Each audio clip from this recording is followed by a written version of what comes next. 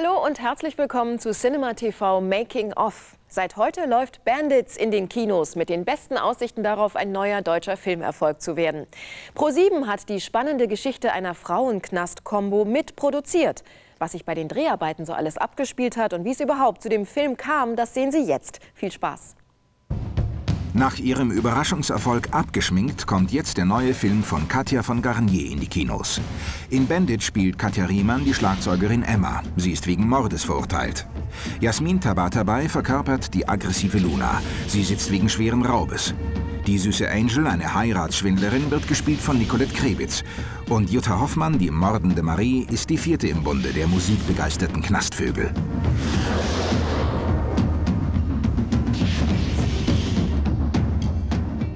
Es sollte Musikfilm sein.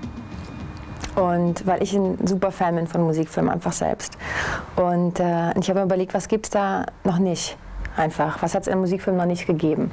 Und zum einen Blues Sisters hat es einfach noch nicht gegeben, also Musikfilm mit Frauen. Und, äh, und auch keinen, der eben Musik und dramatische Elemente kombiniert. Zwischen der dominanten Emma und dem Straßenkind Luna herrscht anfangs in der neu gegründeten Knastband herbe Feindseligkeit. Noch ist die Band ohne Namen.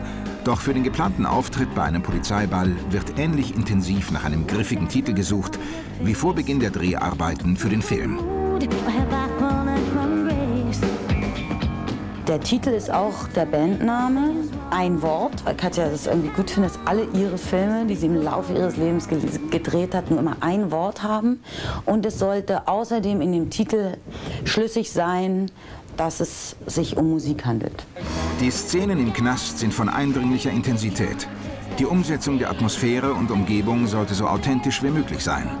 Es war ein Glücksfall, dass die Justizvollzugsanstalt in Nürnberg für die Dreharbeiten einen leerstehenden Trakt im Gefängnis zur Verfügung stellte. Doch auch bei leerstehenden Zellen funktioniert nach wie vor die Schließautomatik, wie Katja Riemann unfreiwillig feststellen musste. Hallo Hasi! Aber macht nichts, Katja, du siehst toll aus da drinnen, wirklich. Nicht nur Katja Riemann darf bald wieder das Gefühl der Freiheit in vollen Zügen genießen. Also es ist kein Knastfilm. Die Mädels kommen vielleicht aus dem, aus dem Knast am Anfang, aber es ist kein Knastfilm, weil sie dann relativ schnell ausbrechen. Es ist so, wir aus äh, Gründen, die wir noch nicht verraten wollen, kommen wir dazu, also auszubrechen und werden dann sozusagen auf unserer Flucht berühmt. Entschuldigung. Hast du einen Führerschein? Halt an, ich muss brechen. Jetzt nicht? Ja.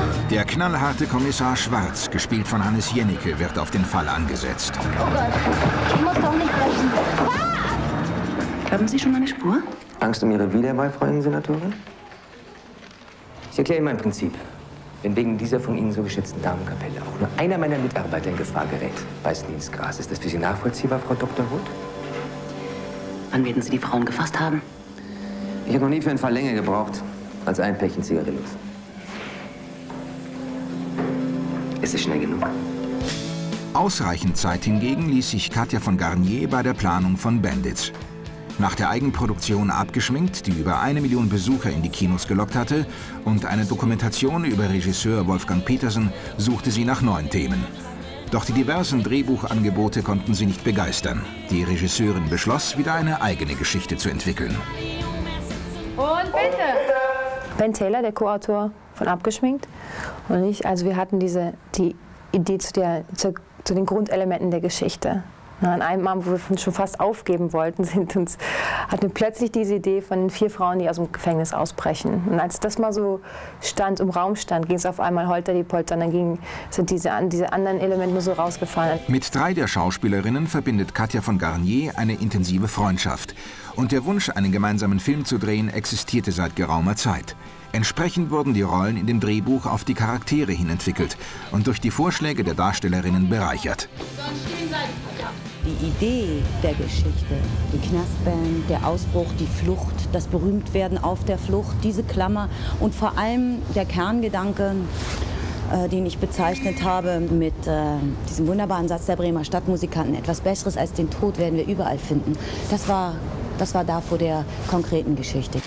Tatsächlich winkt dem völlig abgebrannten Quartett der erste Erfolg, als eine bekannte Melodie aus dem Autoradio dröhnt. Das ist unser Lied. Mein Lied. Den Song hatte die Gruppe noch im Knast aufgenommen und an einen Musikproduzenten geschickt. Dieser glaubt, die Flucht der Bandits vermarkten zu können und wittert das große Geschäft. Doch er hat seine Rechnung ohne die ausgebufften Mädels gemacht. Also hör mal zu, Alter. Wenn ihr unser Lied im Radio spielt, dann müsst ihr uns... Dann nur ein Test, mehr nicht. Ich würde euch gerne helfen, aber ich weiß beim besten Willen nicht wie. 40. 40 was? 1000. Das Erfolgsgefühl der Frauen entlädt sich in einer wilden Szene, gedreht auf einer Hamburger Brücke. Zur Musik der Band wurde unter der Mitwirkung professioneller Tänzer eine mitreißend choreografierte Tanzszene entwickelt. Besonders wichtig war dabei für die Regisseurin, das lebenshungrige Feeling ihrer Protagonistinnen zu transportieren.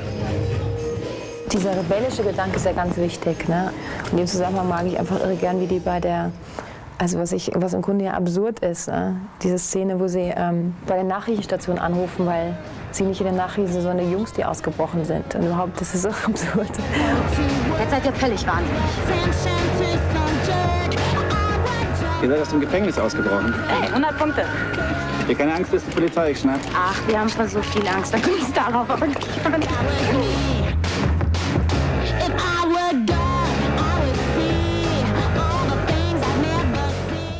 Wurde irrsinnig viel Gedankengut darauf verwendet, wie äh, spielen denn eigentlich diese Knastis? Wie spielt der jeweilige Charakter sein Instrument?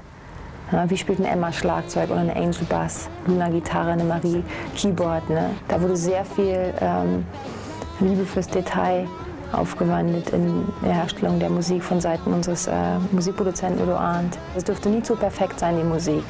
Knastis können nicht einfach, die sind, die sind nicht wirklich richtig gut, sondern die sind, das musste Haken haben und Ösen, ne? die Art, wie die spielen. Es musste ganz kantig sein. Und wenn was zu gut war oder zu gut eingespielt war, nochmal. Es muss schlechter, nicht schlechter, aber es muss kantiger sein. Wir machen Musik. Wir sind eine Band, die Bandits.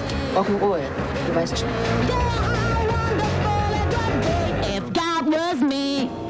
Wer glaubt, die Schauspielerinnen agieren zu Playback, irrt. Die vier Frauen singen und spielen selbst.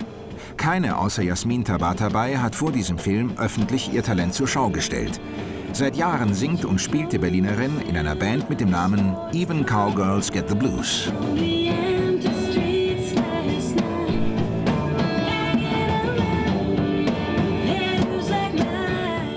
Was stimmt, ist, dass ich halt äh, in, in, seit ein paar Jahren in Bands spiele und sicherlich so die meiste Übung habe oder so.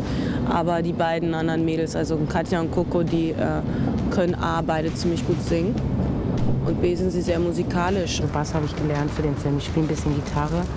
Dann war es nicht ganz so schwer. Ich dachte immer, ich würde Gitarre spielen, weil ich es mal gelernt habe. Katja rief an, kann ich sogar sagen, war im Oktober 95, sagte, du spielst übrigens Schlagzeug und am nächsten Tag kaufte ich mein Schlagzeug ist mir jetzt irre peinlich. Ja. Ich brauche mich jetzt nicht mehr. Ja. Okay, einer auf den Boss gestellt hat. Sieht die Kamera aus, damit ich wieder spielen kann.